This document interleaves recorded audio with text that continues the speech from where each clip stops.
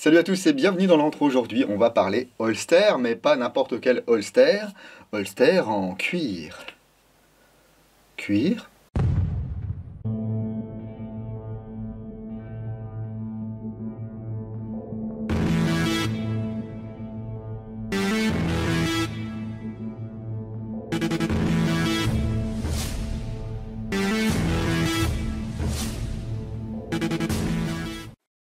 Et avant de commencer, j'aimerais remercier Al chez Craft Holsters qui m'a contacté afin de savoir si je pouvais faire euh, une petite publication Instagram ou quoi machin euh, sur un de leurs holsters. J'ai dit écoute, euh, tant qu'à faire, autant faire une petite vidéo de présentation. Ça ne mange pas de pain. Et puis pour tout vous avouer, je comprends pas vraiment le système d'influenceur via Instagram parce qu'une photo.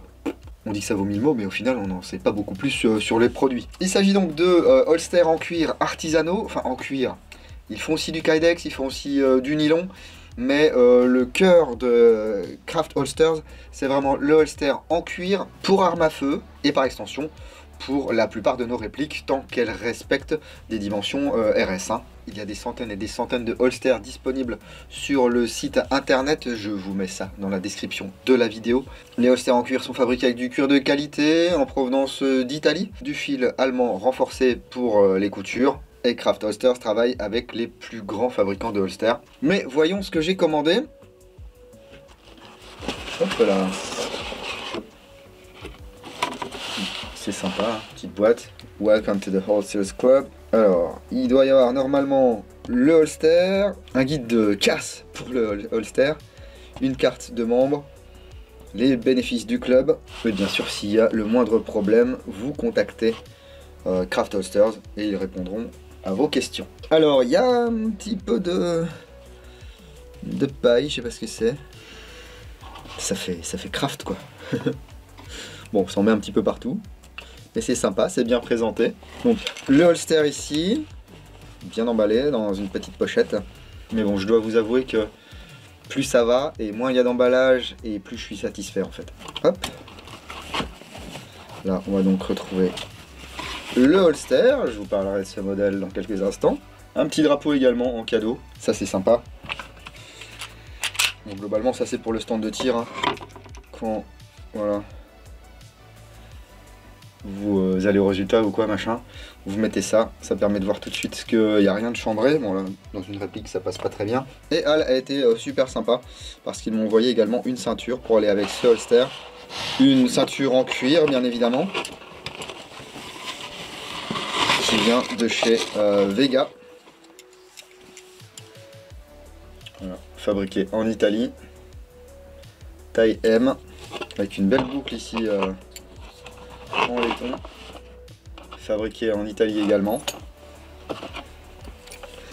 Ah, ça sent bon. Hein. Et il y a également une petite pochette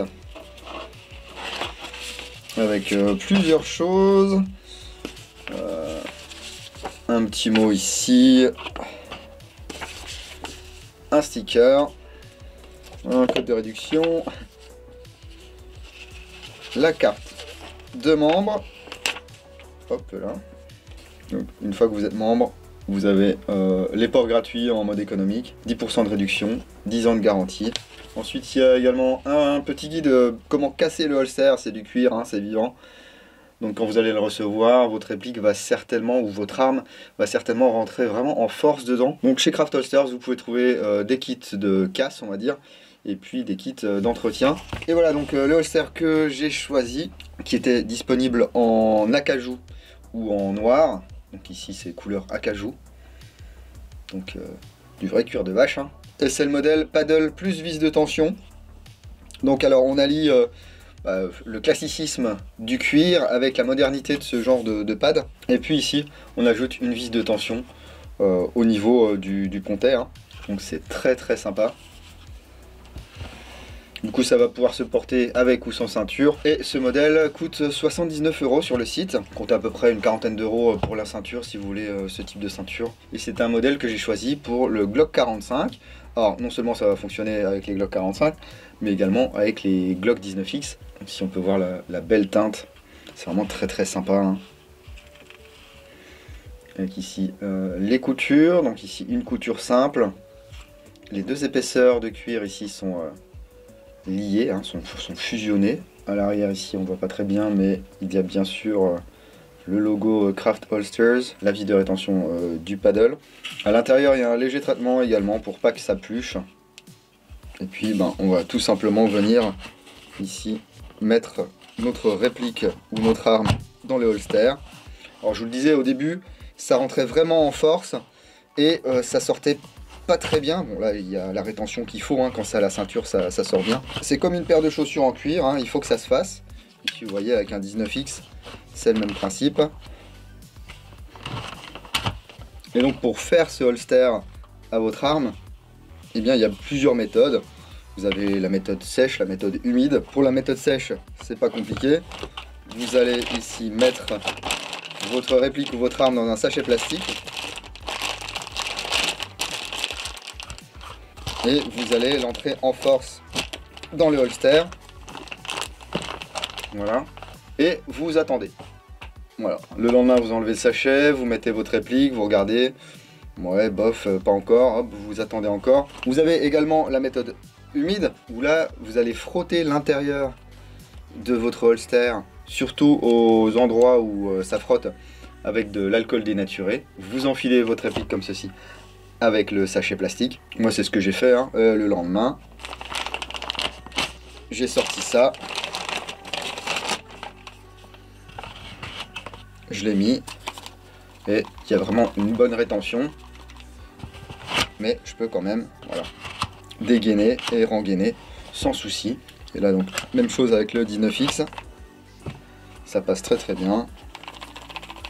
Ça va pas s'en aller. Et c'est quand même très classe. Alors ça fait très américain, hein, bien sûr. Ce sont des holsters qui sont prévus pour faire du euh, conceal and carry weapon, c'est-à-dire pour porter une arme en toute discrétion. Euh, je rappelle que le port d'armes en France euh, est illégal. En tant que tireur sportif, vous avez des détentions d'armes, c'est-à-dire que vous pouvez la détenir chez vous, vous pouvez l'amener au stand de tir, vous pouvez la transporter entre votre domicile et le stand de tir, mais vous pouvez pas aller à Carrefour avec un petit holster comme ça et votre Glock à la ceinture. Hein. Il n'y a que quelques cas particuliers et très rares où vous pouvez effectivement avoir un permis de port d'armes en ne faisant pas partie des forces de l'ordre. On va se mettre un petit peu en situation, euh, je vais porter ce holster et puis on va voir ce que ça donne un petit peu à la ceinture.